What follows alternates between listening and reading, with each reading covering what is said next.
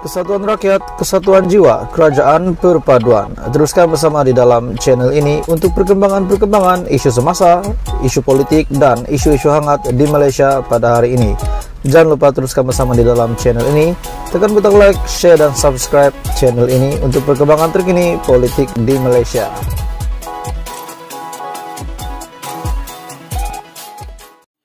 Setelah Tun Juhar dilantik semula menjadi TYT, adakah respon ataupun penerimaan JRS?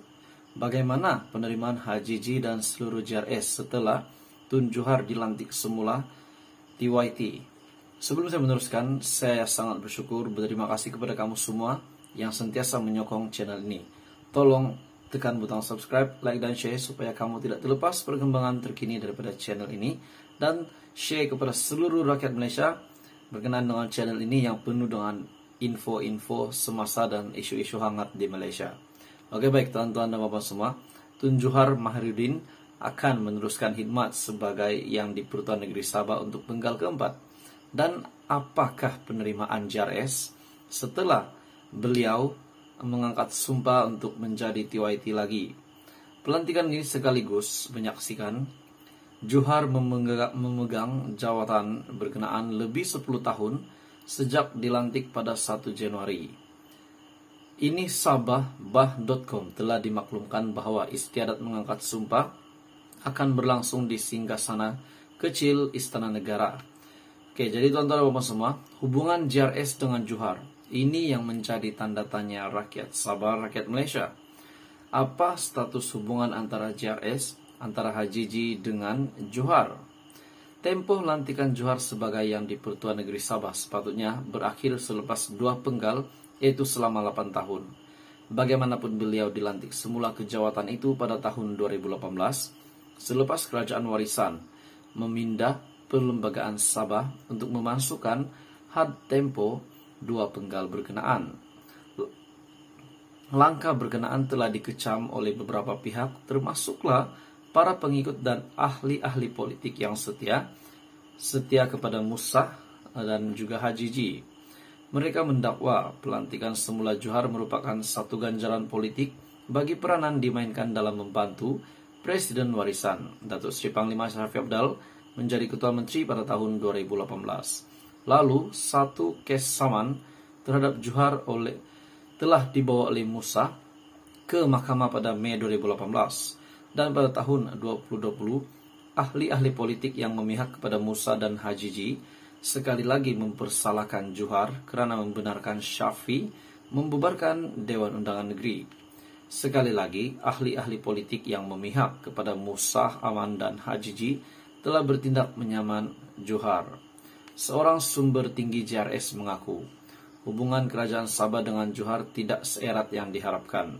Malah, lantikan semula Juhar mungkin isyarat jelas bahwa pentadbiran Hajiji tidak akan bertahan lama. Oke, baik tuan-tuan dan bapak semua. Sekiranya benar, Juhar ketika beliau um, telah membenarkan ataupun ya membenarkan Presiden Warisan pada ketika itu membubarkan DUN, adakah pada hari ini beliau telah dilantik semula sebagai TYT akan menjejaskan prestasi, akan menjejaskan status um, status Menteri Sabah pada hari ini, Ketua Menteri Sabah pada hari ini yaitu Hajiji dan juga sebagai pengerus JRS. Dengan media hari ini yang mengatakan bahwa malah lantikan semula Johar mungkin isyarat jelas bahwa pentadbiran Hajiji tidak akan bertahan lama. Adakah maknanya Hajiji akan eh, pada masa terdekat ini mungkin tahun hadapan akan tidak lagi mempunyai status sebagai ketua menteri.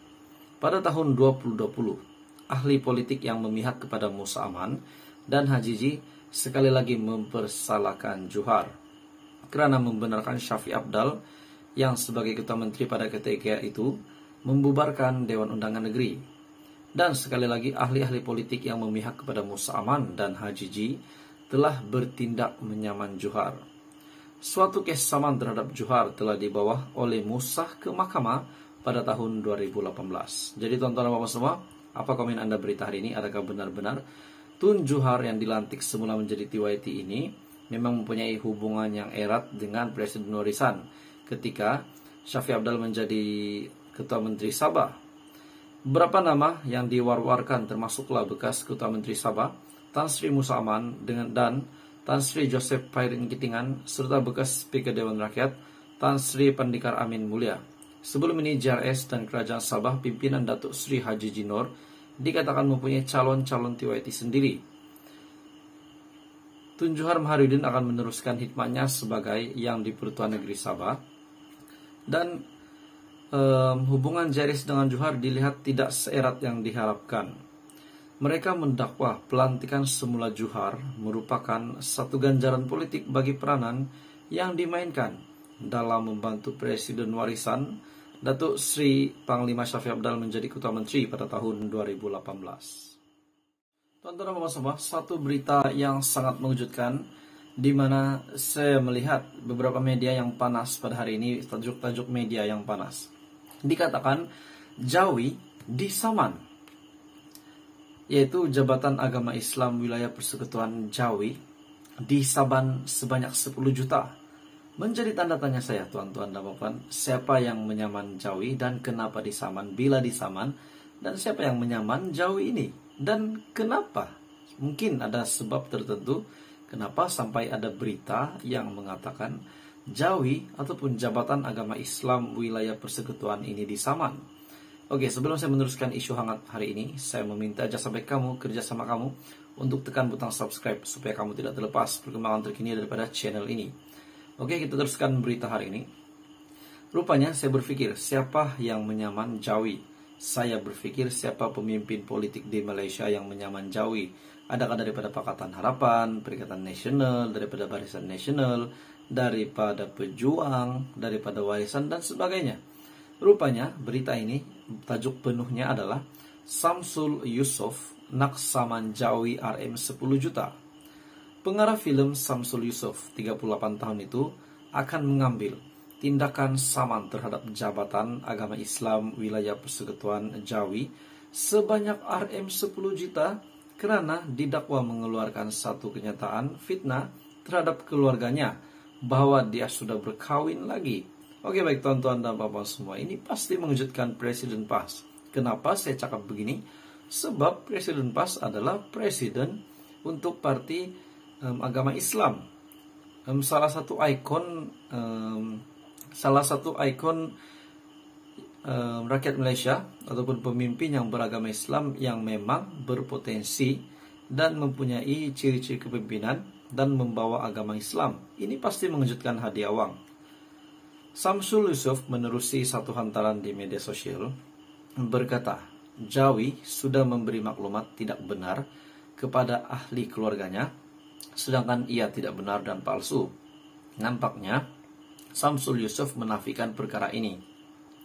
Perkara itu juga adalah dokumen resmi kerajaan. Saya anggap saya perlu ambil tindakan untuk menyaman Jawi sebanyak RM 10 juta. Setakat ini yang boleh saya katakan, kata Samsul Yusuf. Oke baik tuan-tuan dan teman semua, RM 10 juta bukan jumlah yang sedikit. Menurut Samsul Yusuf, cukuplah dia berkongsi sebab untuk mengambil tindakan saman itu dan selebihnya akan dikemas kini dari semasa ke semasa. Difahamkan juga Samsul kini berhadapan ke melut rumah tangga dengan istrinya juga pelakon Putri Sarah yang berumur 37 tahun atas dakwaan kehadiran orang ketiga dikenali sebagai Ira Kazar yang dikatakan mengganggu, mengganggu rumah tangga mereka. Samsul dan Putri Sarah berkawin pada Mac 18, maafkan saya pada 8 Mac 2014. Hasil perkongsian hidup itu mereka dikurniakan dua cahaya mata, yaitu Syaikul Islam yang berumur 5 tahun dan Sumayyah yang berumur 3 tahun. Oke, tonton nama semua, Samsul Yusuf, Nak Saman, Jawi RM 10 juta. Sekiranya benar Samsul Yusuf akan menyaman, saya rasa ini satu tindakan um, yang mengejutkan, mengejutkan kepada seluruh uh, pengundi PAS, seluruh pemimpin PAS dan peminat-peminat uh, pengikut-pengikut Hadi Awang, Tok Guru Hadi Awang. Kenapa? Sebab Presiden PAS adalah um, presiden untuk Parti Agama Islam Malaysia. Jadi pengarah film Samsul Yusof akan mengambil tindakan saman terhadap Jabatan Agama Islam Wilayah Persekutuan sebanyak RM 10 juta kerana didakwa mengeluarkan satu kenyataan fitnah terhadap keluarganya bahwa dia sudah berkawin lagi.